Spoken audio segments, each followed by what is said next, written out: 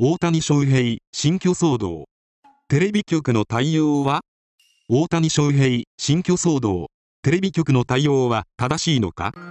近年大谷翔平選手の活躍は世界中を熱狂させています。その人気は日本国内でも非常に高くメディアの注目度も非常に高いです。しかしその人気ゆえにプライバシーの侵害といった問題も発生しています。特に2024年大谷翔平選手の移籍先であるドジャースへの移籍後彼の新居が特定されテレビ局による突撃取材が行われたことが話題となりました。この報道に対して多くの視聴者からの声が上がっています。今回の騒動で問題視されているのはテレビ局の取材姿勢です。大谷翔平選手はスポーツ選手として常に多くの注目を浴びています。しかし彼も一人の人間でありプライベートな空間は守られるべきです。テレビ局は視聴者の関心を集めるためにプライバシーを軽視した報道を行っているように見えます。大谷翔平選手は今回の騒動を受けて精神的な負担を抱えているかもしれません。テレビ局は視聴者の関心を集めるために視聴率を追求することは重要です。しかしそれはプライバシーの侵害を正当化する理由にはなりません。テレビ局は視聴者の関心を集めることとプライバシーの尊重のバランスをどのように取るべきなのか改めて考える必要があるでしょう。う。今回の騒動はメディアの報道倫理について私たちに多くの課題を突きつけています。ネットの感想プライバシーを尊重してほしい。テレビ局はもう少し考えて報道してほしい。大谷翔平選手がかわいそう。テレビ局は視聴率よりも人の心を大切にしてほしい。メディアの責任は重大だ。今回の騒動は私たちにメディアリテラシーの重要性を改めて気づかせてくれました。私たちはメディアの情報に対して的な視点を持つように心がけ情報の真偽を確かめる必要があります。大谷翔平の衝撃発言。フジテレビアナ激怒大谷翔平の衝撃発言でフジテレビアナが激怒。会いたい時は球場へ発言の真相とは？先日フジテレビの朝の情報番組「目覚まし8」で大谷翔平選手が所属するロサンゼルス・ドジャースに関する報道がありました。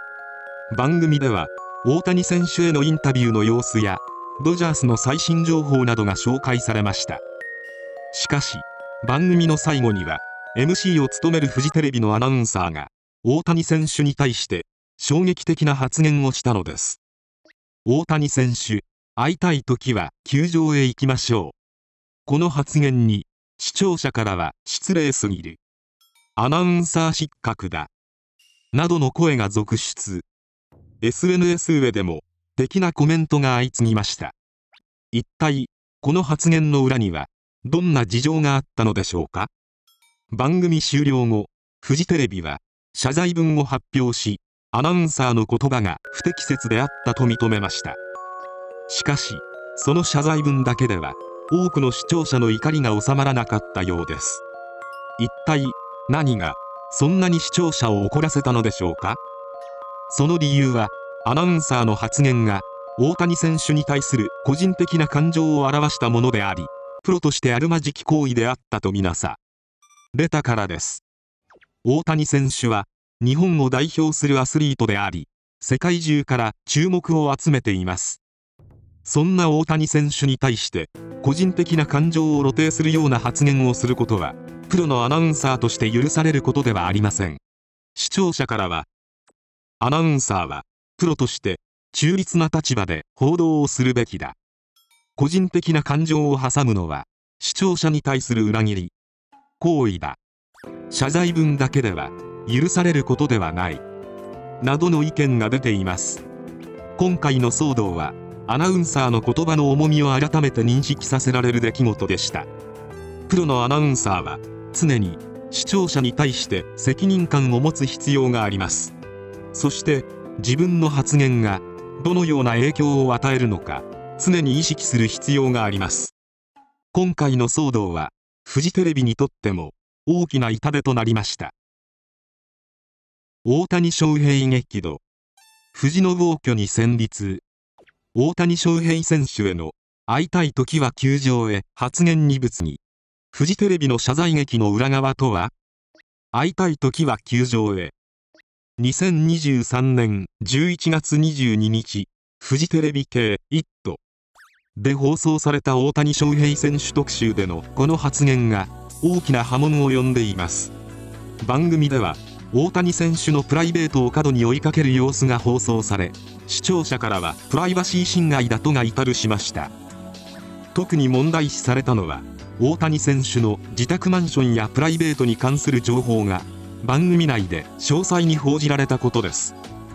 番組内では大谷選手の自宅マンションの外観が映し出されさらには大谷選手の自宅マンションの部屋番号が特定できるような情報も流されました。この情報公開によって大谷選手のプライバシーが深刻に侵害されただけでなくファンからのストーカー行為やプライバシー侵害を助長する可能性も懸念されています。さらに番組内では大谷選手が自宅マンションから外出する様子や自宅マンション周辺を歩く様子なども映し出されました。これらの映像は大谷選手が日常生活を送る上で大きな精神的な負担となっていることは想像に難しくありません。番組内で放送された情報は大谷選手自身の意向が全く反映されておらず一方的に報道されたものとみられています。番組では大谷選手のインタビューやコメントは一切放送されておらず大谷選手自身の考えや意見が全く伝わってきません。この報道を受けてフジテレビは番組内で謝罪文を発表しました。しかし謝罪文の内容は大谷選手に対する具体的な言及はなく単に視聴者の皆様に不快な思いをさせてしまったことをお詫び申し上げますという抽象的な内容にとどまっています。またフジテレビは番組内で大谷選手に会いたい方は球場へ応援に行きましょうと発言しました。この発言はまるで大谷選手は球場以外では会えない存在であるかのように大谷選手を商品化しているように聞こえます。さらにフジテレビは番組内で大谷選手のプライベートに関する情報をこれからも追いかける可能性を示唆しました。フジテレビは大谷選手のプライバシーを尊重する意思があるのか疑問が残ります。大谷翔平選手は世界で活躍する日本人アスリートとして多くのファンから支持されています。大谷選手は私たち日本人にとって誇りであり希望です。大谷選手のプライバシーは私たち日本人全員が守るべきものです。フジテレビは大谷選手への謝罪とプライバシー保護に対する具体的な対策を早急に示すべきです。また私たち視聴者はプライバシー侵害に関する問題意識を持ちメディアに対して適切なを行う必要があります。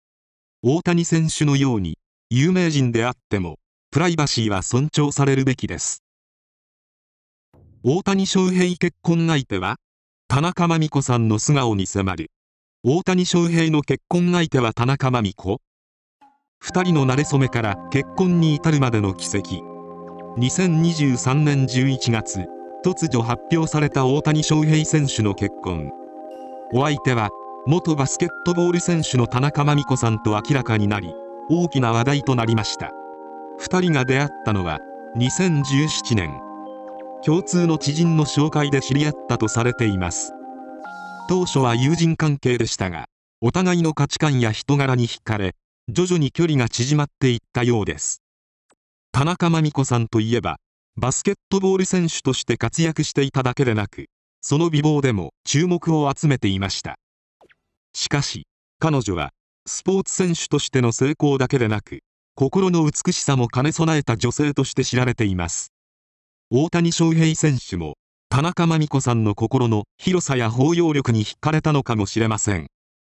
2人の間にはスポーツ選手同士ならではの共通点も多くお互いを理解し合える関係だったのでしょう。結婚発表後多くのファンが祝福の声を寄せました。2人が共に歩む未来に期待と喜びの声が溢れています。田中真美子さんについてさらに詳しく調べてみました。田中真美子さんのプロフィール。生年月日1994年1月28日。出身地東京都。身長170センチメートル。学歴早稲田大学。卒業経歴バスケットボール選手。田中真美子さんについて詳細な情報は多くありません。彼女はメディアへの露出を控えプライベートを大切にしているようです。しかし結婚発表後彼女の過去や性格について様々な情報が浮上しています。田中真美子さんの性格。田中真美子さんについて多くの情報はありませんがいくつかの情報から彼女の性格を推測することができます優しい周りの人に優しく気配りのできる女性だと言われています。控えめメディアへの露出を控えプライベートを大切にしていることから控えめな性格であることが伺えます。芯が強いバスケットボール選手として活躍していた経験から芯の強い女性であることが想像できます。これらの情報から田中真美子さんは明るく優しいだけでなく芯の強い女性であることがわかります。大谷翔平と田中真美子の結婚。大谷翔平選手と田中真美子さんの結婚は多くのファンにとって驚きでした。しかし2人の結婚は周囲の人々から祝福されています。大谷翔平選手は田中真美子さんのことを僕にとって最高の理解者と語っています。2人の結婚はまさに天命と言えるでしょう。2人の未来。大谷翔平選手と田中真美子さんの結婚は2人の新たなショーの始まりです。2人の未来が愛と幸せで満たされることを願っています。ネットの反応。大谷翔平選手と田中真美子さんの結婚発表後ネット上では様々な反応が見られました。お似合いのカップル。末永くお幸せに。田中真美子さんのことをもっと知りたい。大谷翔平選手の結婚は本当に嬉しい。2人の未来が楽しみ。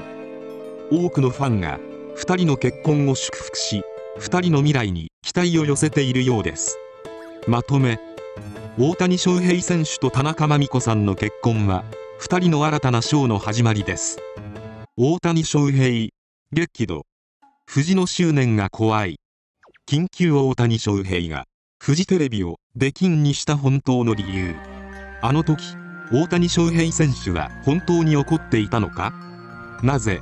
フジテレビはそこまでしつこく大谷翔平選手を追いかけるのか？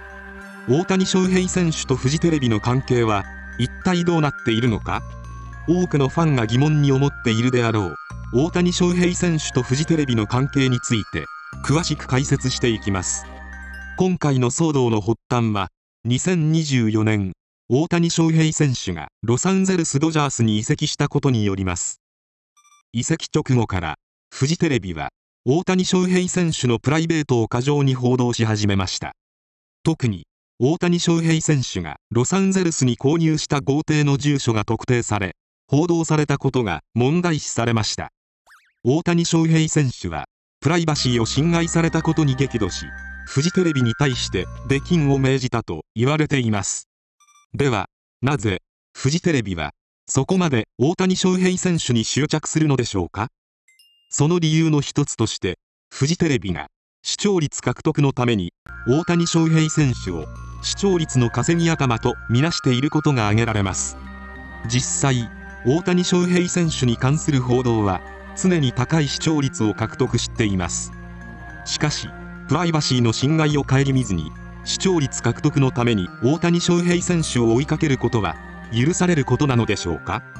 多くのファンはフジテレビの行為を行き過ぎた報道としています。プライバシーは守られるべきだ。選手は人間として尊重されるべきだ。メディアは責任ある報道を行うべきだ。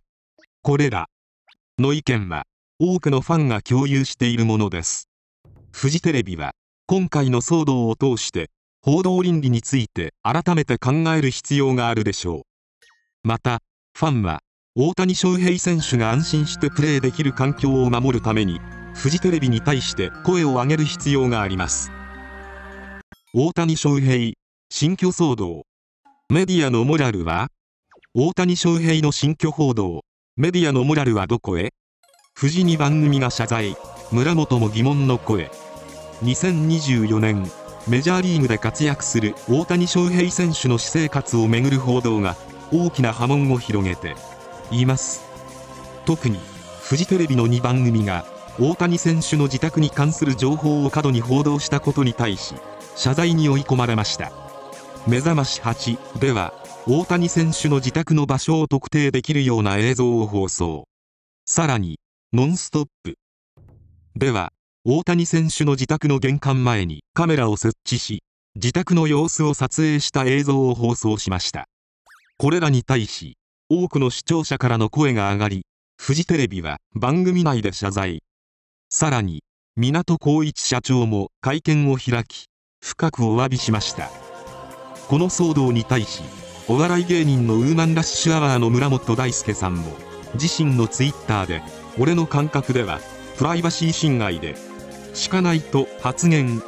村本さんの言葉は多くの視聴者の共感を呼んでいます。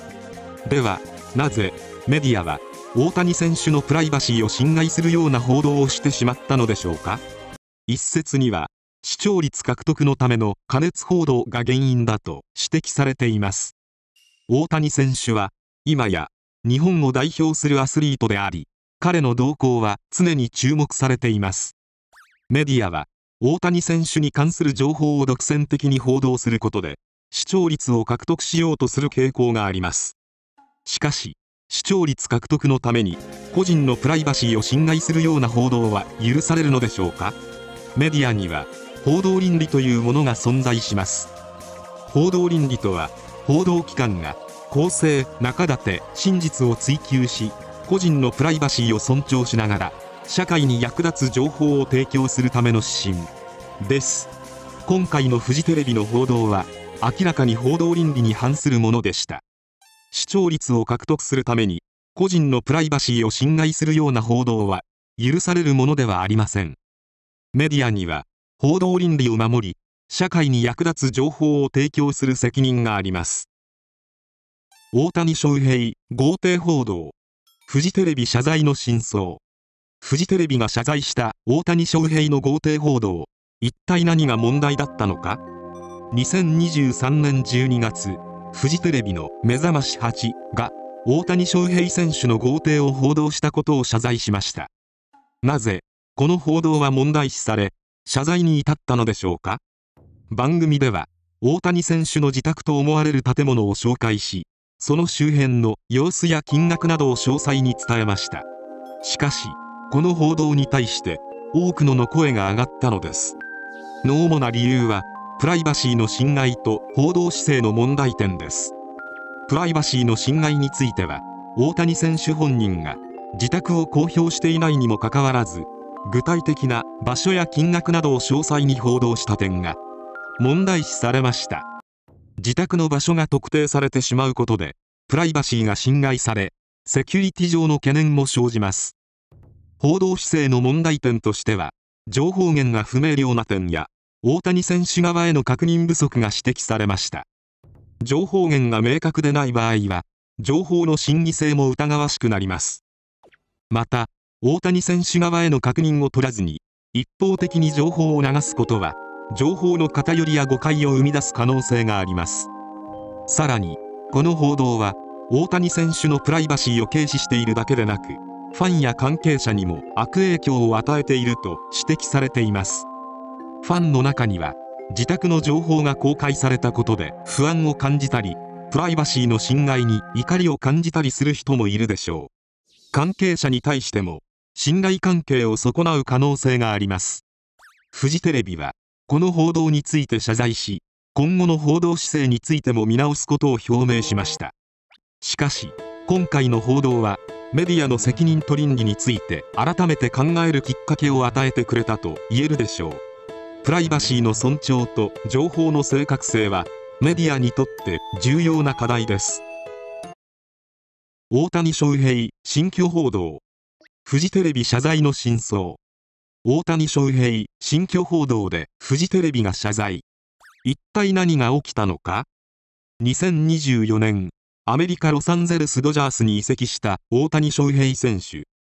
その大谷選手の新しい住居についてフジテレビ系列の番組「イット!」と「目覚まし8」が報道したことが大きな話題となり謝罪にまで発展しました。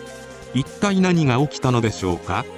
フジテレビは大谷選手の新しい住居の場所を特定し番組内で公開しました。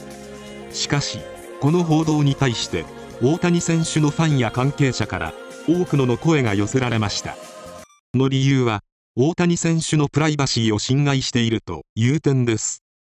大谷選手はアメリカで活躍するトップアスリートでありそのプライバシーは非常に重要なものです。今回の報道によって大谷選手や家族の安全が脅かされる可能性もあると懸念されています。フジテレビはこれらのを受け番組内で謝罪を発表しました。